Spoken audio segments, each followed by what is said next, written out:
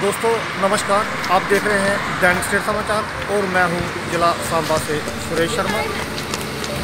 आज सोमवार है और पिछले दो दिनों से प्रशासन द्वारा लगाए गए वीकेंड लॉकडाउन के बाद सोमवार को प्रशासन ने इसमें राहत दी और ज़िले के कस्बों के बाज़ार जो थे, वो खुले।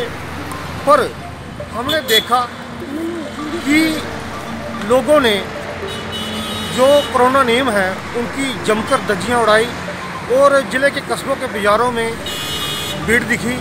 जो लोग बाज़ारों में भी खरीदो फरोख्त करने आए, जहाँ तक कि कुछ लोगों को हमने देखा कि बिना मास्क के ही वो लोग जो थे, वो बाज़ारों में निकले हुए थे।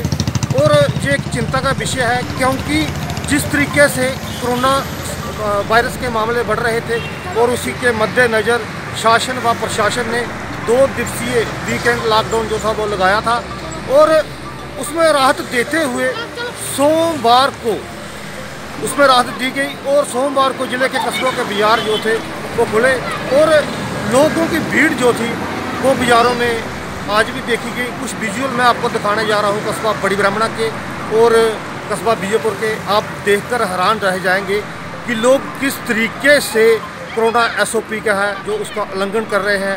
शारीरिक दूरी बनाए रखने को जो नियम है, उनका भी पालन नहीं किया जा रहा।